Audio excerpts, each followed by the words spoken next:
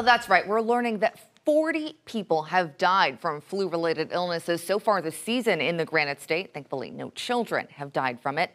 Not as bad, though, as the record 64 adults who died from flu related illnesses in New Hampshire last season. Thankfully, no children died then either. Officials say this season we are not in the clear yet. This is the longest flu season we've seen in a decade. It's been going on for 21 weeks.